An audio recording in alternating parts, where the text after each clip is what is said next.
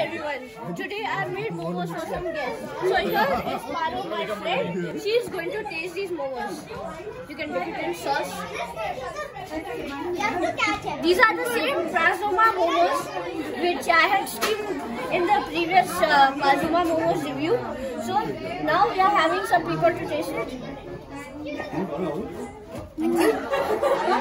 How it is. It is very good.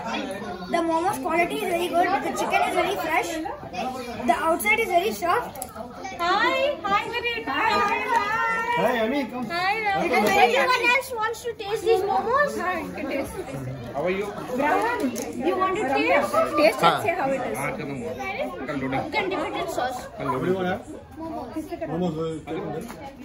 One by one. And you have to taste and say how it is. APM Oh, we have a new guest here, Mishka. Mishka, please eat the momo and tell how it is. Okay. Taste and tell how it is on the जो होना हो जाएगा अभी You also tell me. made this? You see. You made it? Come on. Anna, this is the next turn that I need.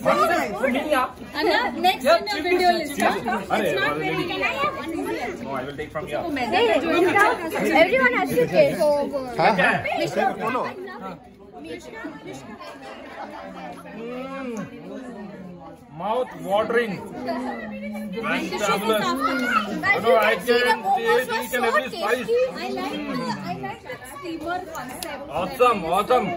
Arnav, make me your sister, please. So as you could see, these momos were so delicious. Everyone finished it in seconds. So, bye everyone and I'll see you in my next video.